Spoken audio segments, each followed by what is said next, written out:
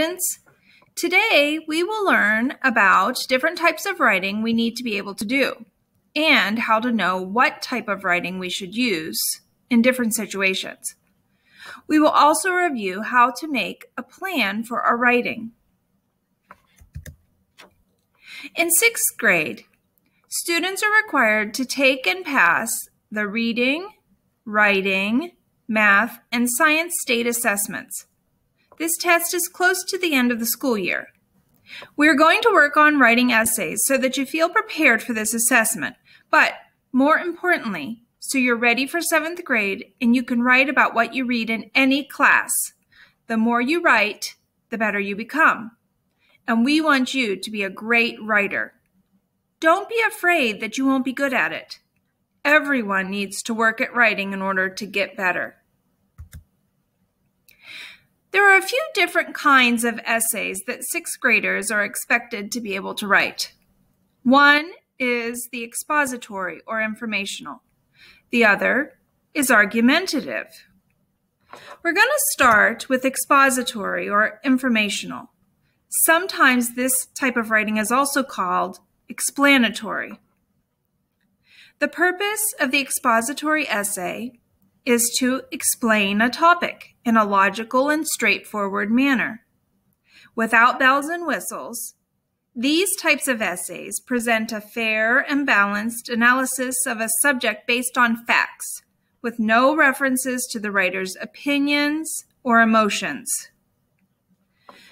A typical expository writing prompt will use the words explain or inform or define or something like that, such as in this example. Write an essay explaining how the computer has changed the lives of students in today's world. Notice there is no instruction to form an opinion or, or an argument on whether or not computers have changed students' lives. The prompt asks the writer to explain, plain and simple. However, that doesn't mean that writing to explain is easy. The argumentative essay is a genre of writing that requires the student to investigate a topic, read about and evaluate evidence that they find, and establish a position on the topic in a concise manner. A typical argumentative writing prompt will use words like opinion, what do you think? How do you feel? Or take a position on. When you're writing an essay based on a prompt, the words in the prompt will tell you what type of writing you should do. The teacher often won't tell you this is an expository essay or this is an argumentative essay. You have to read the prompt and be able to decide what type of writing is required. Let's look at some example prompts and think about what type of writing would be required for each of these. Let's imagine that te your teacher gives you this writing prompt. Holidays are times when memories are made. Think of one holiday that you might celebrate with family and friends. Write to explain why this holiday is celebrated. What do you think? Is this an expository writing prompt or an argumentative writing prompt? We see that it says write to explain, which means it's an expository writing prompt.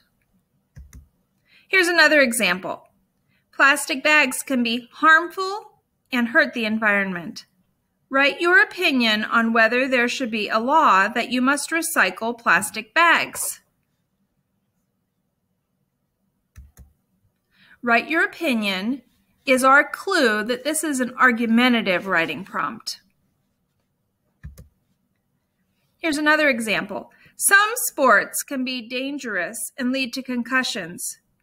Argue your opinion on whether or not contact sports, such as football, should be banned for children under 13 years old. We see argue your opinion, which means it's an argumentative writing prompt. Let's do one more together. Ecosystems are communities of plants and animals. Think about what you can do to help ecosystems in our state.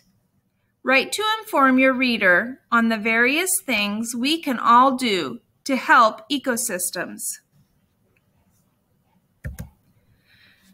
Our clue is write to inform. This lets us know that it's an informative or expository writing prompt. All right, we're going to stop our video and we're going to see what you know. It's time for a quiz.